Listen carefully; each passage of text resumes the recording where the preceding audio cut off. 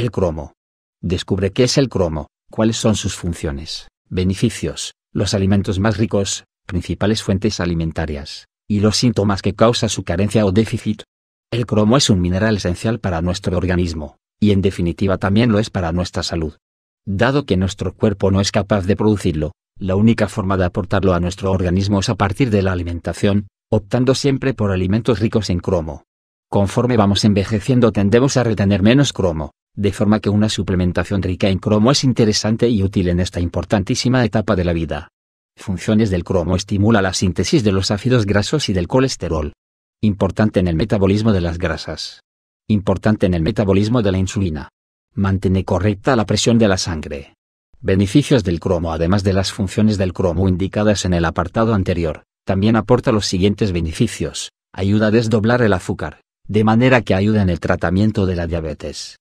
Mantiene en niveles normales la presión arterial en la sangre.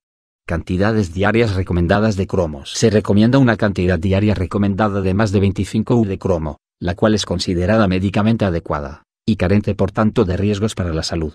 Edad hombres mujeres 0,6 meses 0,2 0,27 12 meses 5,5 5,5 3 años 11 11 4 8 años 15 15 9 13 años 25 21 14 18 años 35 24 19 50 años 35 25 más 51 años 30 20 embarazo y lactancia menos 18 años 25 embarazo y lactancia más 18 años 35 síntomas carenciales del déficit de cromo El déficit de cromo puede causar tolerancia baja a la glucosa Niveles elevados de azúcar en la sangre. Niveles de colesterol alto.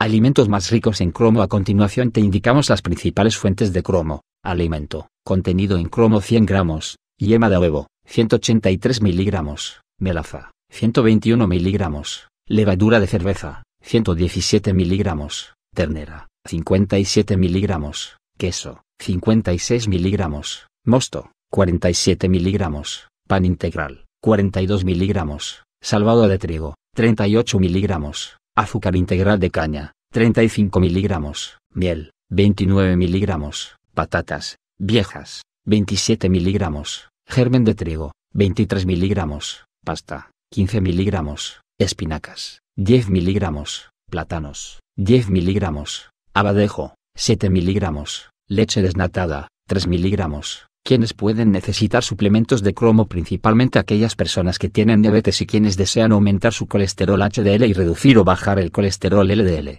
Usos terapéuticos del cromo quienes desean desarrollar un músculo magro, atletas,